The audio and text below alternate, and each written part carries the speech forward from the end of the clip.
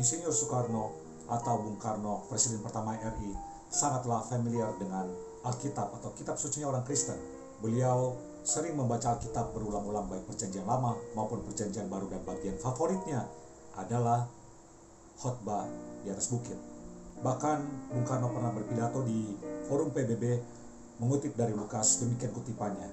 Segala kemuliaan bagi Allah di tempat yang maha tinggi dan sejahtera di atas bumi di antara orang yang diperkenannya. Oke, jumpa lagi dalam Inspironi. Kali ini saya akan share tentang kisah bagaimana Bung Karno merespon tentang siapakah gembala yang baik itu dalam perspektif beliau.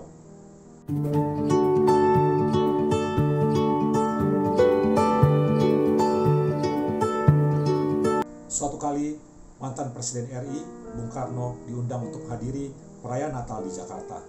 Banyak orang Kristiani yang tinggal di wilayah DKI turut hadir dalam perayaan tersebut. Di atas panggung, terpampang sebuah spanduk dengan sebaris kalimat yang sangat jelas. Yesus adalah gembala yang baik. Pada saat Bung Karno diminta untuk memberikan sambutan, beliau melihat dan membaca tulisan tersebut dengan lantang. Yesus adalah gembala yang baik. Kemudian beliau melanjutkan kata-katanya. Itu salah. Mendengar ucapan itu tentu saja semua orang yang hadir menjadi terperanjat, terkejut, tegang, bercampur dengan bingung dan heran. Mengapa dalam perayaan yang sangat sakral, Bung Karno berbicara seperti itu? Suasana mendadak hening dan jemaat diam seribu bahasa. Selang beberapa saat kemudian, Bung Karno melanjutkan kembali perkataannya.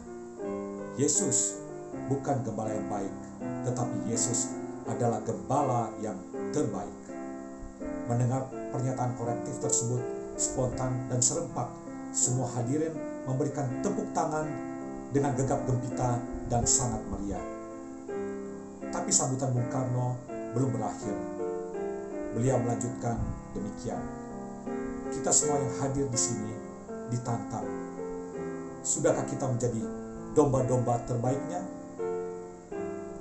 Sudahkah kita menjadi domba-domba terbaiknya?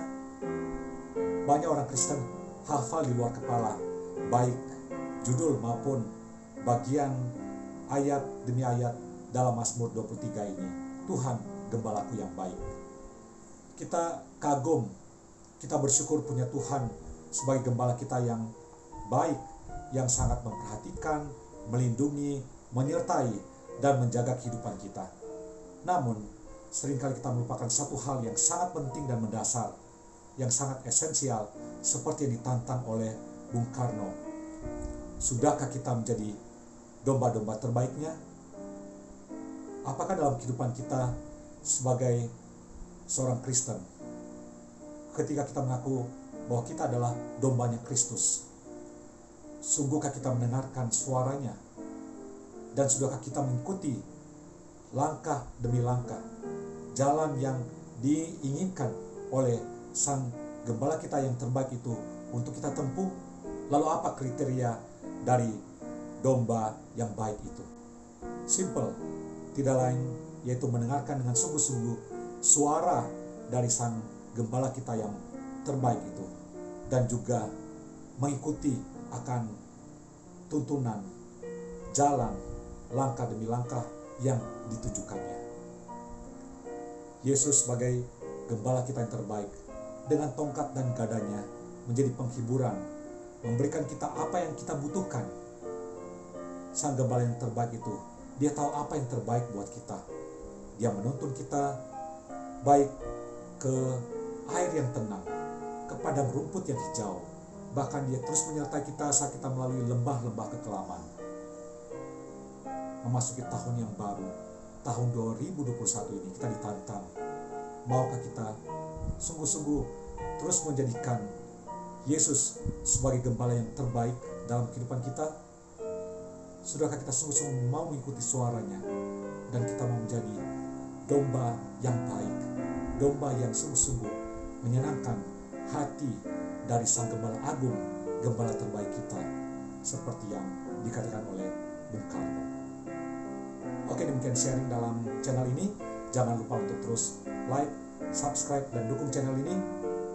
Dan Tetaplah setia untuk menjadi domba yang setia bagi Tuhan kita dan kiranya Tuhan Sang Gembala yang Agung akan menyertai kita di sepanjang tahun yang baru ini yaitu tahun 2021. Tuhan Yesus memberkati, salam damai dan salam inspironi. Tuhan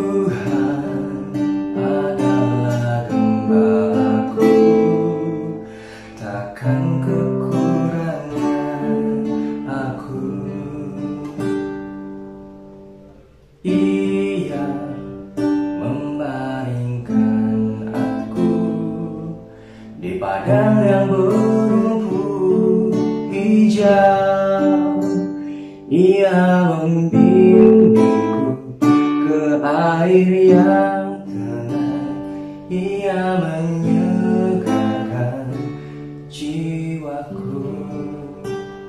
Ia menuntunku ke jalan yang benar Oleh karena namanya Sekalipun aku berjalan dalam lembah kekelaman Aku tidak takut bahaya Sebab Tuhan besertaku Gadangmu